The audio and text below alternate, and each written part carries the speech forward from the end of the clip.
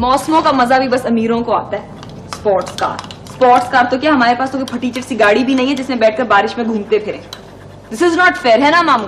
Yes Shehnaaz Sheikh Pakistan की television industry का ऐसा नाम थी जो महज एक ड्रामे से सब फेवल की अदाकारा बन गई उनका नाम पूरी दुनिया में मकबूल हो गया। एक हसीनो जमील नफीस खातून जब स्क्रीन पर नज़र आई तो लाखों लोग उनके दीवाने हो गए। इंतहाई का मरसा में वो प्रोड्यूसर्स की अवलीन तरजीह बन गई लेकिन वो ड्रामा इंडस्ट्री के लिए एक बाद सबा साबित हुई, जैसे ठंडी हवा का झोंका एक हल्की सरसराहट से गुजर जाता है। तनहाइया जैसे लाजवाल ड्रामे से पूरी दुनिया में दाग बिठाने वाली शहनाज शेख करियर के एन उरूज पर चकाचौंध दुनिया को खैराबाद क्या गई। उन्हें टीवी से दूर हुए कई साल गुजर चुके हैं, लेकिन आज भी उनकी अदाकारी, उनकी नफासत, इखलाक और वकार की मिसालें दी जाती हैं। शायद उनका यही किरदार ही था कि उन्होंने न सिर्फ़ खुशहाल, मगर एक कामयाब अजदवाजी ज़िंदगी गुजारी। और आज एक हंगामा खेज दुनिया की मलका बच्चों को सिखाते हुए एक खामोश ज़िंदगी गुजार रही है। और कोई नहीं जानता की वो कहाँ और किस हाल में है। शहनाज शेख के वालदेन का ताल्लुक बर्मा ऐसी था। शहनाज की पैदाइश भी वही हुई। उन्नीस सौ पैंसठ में वो कम उम्र ही थी जब उनके वालदेन हिजरत करके लाहौर आ गए। लाहौर में उन्होंने नेशनल कॉलेज ऑफ़ आर्ट से तालीम हासिल की। शहनाज ने एनसीए से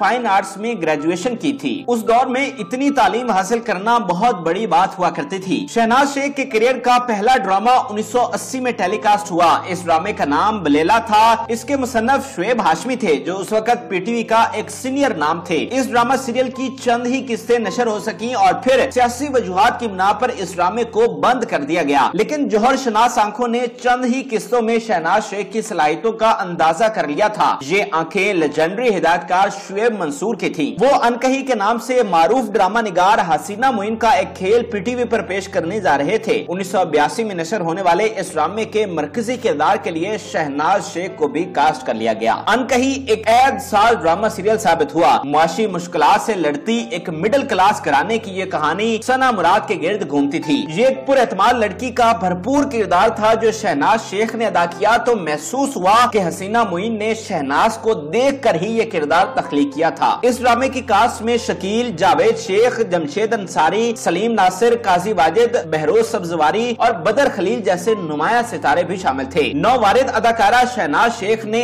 ऐसी ज़बरदस्त अदाकारी की कि इन सब तजर्बाकार फनकारों की कहकशां के दरमियान बताना नामुमकिन था कि शहनाज के करियर का ये महज दूसरा ड्रामा है। कहाँ खूबसूरत लगती है बारिश? और यहाँ से नज़र क्या आता है? फजूल से मकान, फजूल से लोग। ना फूल, ना दरख्त, ना कुछ। मौसमों का मज़ा भी बस अमीरों को आता है। अनकही के बाद शहनाज का अगला ड्रामा मेरे थे जिनके लिए था। इस ड्रामे में उनका किरदार एक ऐसी लड़की का था जो बाहिर मॉडर्न और आज़ाद ख्याल है, लेकिन अंदर से वो एक रिवायती लड़की है। ये एक पेचीदा और मुश्किल किरदार था, इसीलिए शहनाज शेख ने इसे कबूल किया। वो हर किरदार कबूल नहीं करती थी, बल्कि चैलेंजिंग कैरेक्टर्स ही पसंद करती थी। शहनाज ने इस रोल के साथ भी खूबी से इंसाफ किया, जिसके सबब उन्हें नकादों ने बेहद रहा ड्रामा सीरियल मेरे थे जिनके लिए मैं अदाकारी के सबब शहनाज को नकादों की तहसीन हासिल हुई, जिसके बाद उनके चौथे और आखिरी ड्रामे तनहाइया ने हर आमो खास को उनका गर्विदा बना दिया था। उन्नीस सौ छियासी में नशर होने वाले इस ड्रामे को बेमिसाल पजीराई हासिल हुई। ये ड्रामा पाकिस्तानी तारीख की क्लासिक प्रोडक्शन के अंदर सफ़े अवल का मास्टर पीस तस्लीम किया जाता है। इस ड्रामे ने शहनाज शेख को शोबिस की दुनिया में अमर कर दिया था, बल्कि ये एक ऐसा ड्रामा था जिसने बाकी दुनिया में भी पाकिस्तानी ड्रामों की धाक बिठा दी थी। आज भी शहनाज इसी ड्रामा की वजह से याद की जाती हैं। इस ड्रामा को मारूफ राइटर हसीना मोइन ने लिखा था, जबकि शहजाद खलील ने इसे डायरेक्ट किया था। इस ड्रामे की कास्ट में आसिफ रजा मीर, मरीना खान, बदर खलील, बहरोज सब्जवारी, काजी वाजिद, दुर्दाना भट्ट, इस्माइल और जमशेद इंसारी समेत कई दरखशां सितारे जगमगा रहे थे। लेकिन इस कहकशां का सबसे रोशन सितारा शहनाज शेख थी, जो सारा के रोल में ऐसी जची कि ये किरदार हमेशा के लिए उनकी पहचान बन गया। ये दो यतीम बहनों जारा और सानिया की कहानी थी। जारा के किरदार में शहनाज और सानिया के रोल में मरीना खान को कास्ट किया गया था। ये दोनों ही किरदार और दोनों अदाकाराएँ इन रोल्स की बदौलत पाकिस्तानी ड्रामे की तारीख में अमर हो गई। ड्रामे की कहानी को भी अपनी अदाकारी से चार चाँद शहनाज और मरीना ने ही लगाए। शहनाज का अदा किया हुआ जारा का किरदार तो इस कदर पसंद किया गया कि कई लोगों ने इससे मुतासर होकर अपनी बेटियों के नाम जारा रख लिए। ये सब जहाँ हसीना मोइन की किरदार बनाने की सलाहियत का कमाल था वहीं शहनाज शेख की किरदार निभाने की सलाहियत ने भी इस कामयाबी में कलीदी किरदार अदा किया था। तन्हाइयों के बाद शहनाज शेख के पास काम की कमी न थी। हर प्रोड्यूसर उन्हें कास्ट करना चाहता था। टीवी ही नहीं, फ़िल्म के प्रोड्यूसर्स ने भी उन्हें ऑफर्स की। यहाँ तक के पड़ोसी मुल्क के मारूफ फ़िल्म साज राज कपूर ने उन्हें अपनी सुपरहिट फ़िल्म हिना के मरकजी किरदार के लिए कास्ट करने की कोशिश की। लेकिन शहनाज ने भारत में जाकर काम करने से इनकार कर दिया। ये बहुत बड़ी बात थी, क्योंकि हर पाकिस्तानी फनकार भारत में जाकर काम करना चाहता है, लेकिन शहनाज ने इतने बड़े अदाकार और फ़िल्म साज की फ़िल्म ठुकरा दी थी। दिलचस्प तौर पर पाकिस्तान की खाना बदोश लड़की के इसी रोल के लिए बाद में जेबा बख्तियार को कास्ट किया गया था। जेबा बख्तियार को इस किरदार के बदौलत भारत का सबसे बड़ा फिल्मी अवार्ड फ़िल्म फेयर मिला था, और ये फ़िल्म ऑस्कर के लिए भी नामजद हुई थी। शहनाज शेख ड्रामा सीरियल तनहाइया के बाद शोहरत की बुलंदियों पर थी। उन्हें पाकिस्तान टेलीविज़न की सफ़े अवल के अदाकाराओं में शुमार किया जा रहा था, लेकिन हैरान कन तौर पर शहनाज करियर के